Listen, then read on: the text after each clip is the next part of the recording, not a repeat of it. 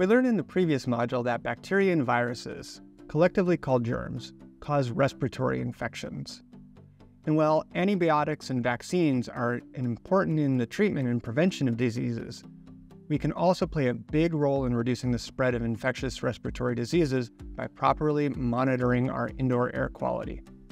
To understand the connection between these diseases and indoor air quality, we first need to understand how germs are transmitted from person to person. While viruses and bacteria multiply inside our bodies, they also try to spread to as many other people as possible so they can keep surviving, multiplying, and spreading. There's two main ways for germs to pass from person to person. The first way is through physical contact. Respiratory germs tend to live in the fluids in our respiratory system. Think about saliva or snot. If someone else comes into physical contact with a contaminated fluid, for example through a handshake, there's a chance that some of the germs will be passed on and eventually make it inside a new person and cause them to get sick. This is one of the reasons that we're all encouraged to wash our hands regularly. It can help reduce transmission from direct contact. However, physical contact is not all that efficient at transmitting the germs that cause respiratory infections. Instead, most respiratory infections are caused by germs passed between people through the air. Why is this? Well, Whenever we breathe or talk or cough, there's processes that go on in our lungs, our vocal cords, and our mouth that create airborne particles. These are often referred to as respiratory particles and are released into the air when we exhale. They're mostly made up of our saliva and other respiratory fluids. We release these particles all the time, whether we're sick or healthy.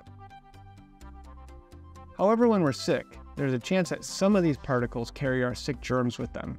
That is, we can release viruses or bacteria into the air when we're sick because the germs can hitch a ride on the particles that we already naturally produce.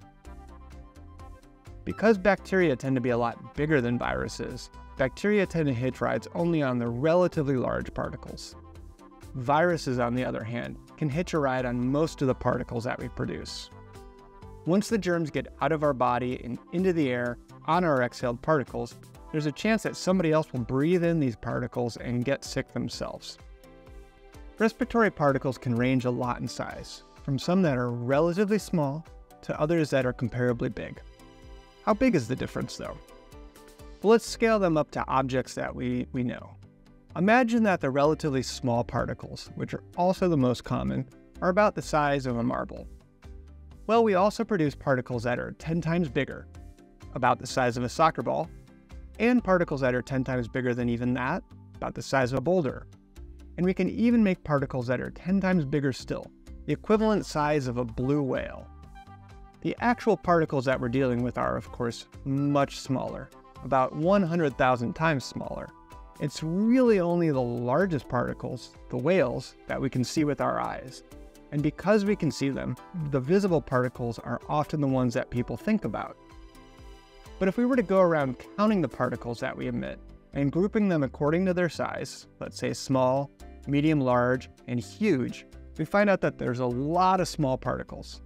About 10 times fewer of the medium ones, 10 times fewer still of the large ones, and even 10 times fewer of the huge ones. That is, for every one whale particle, we might have hundreds of thousands or even millions of marble particles. In practice, when people talk about respiratory particles, they tend to divide them into two groups aerosols and droplets.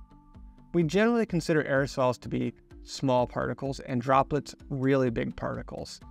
Although people disagree on where to draw the dividing line between small and big, we can think of it as being somewhere around 50 microns, which is similar to the width of a human hair.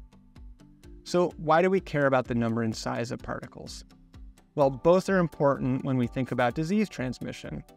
A greater number of particles means it's more likely that people breathe in a germ-containing particle and get sick.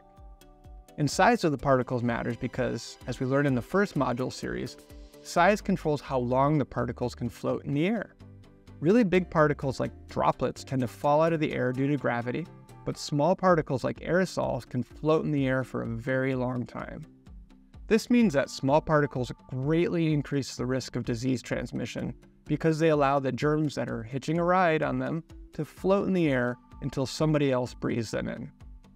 Because small particles can float in the air for so long, and because more particles in the air mean more chances that the people in a room get sick, it's important that we use our air quality improvement strategies to remove particles from the air and keep people healthy.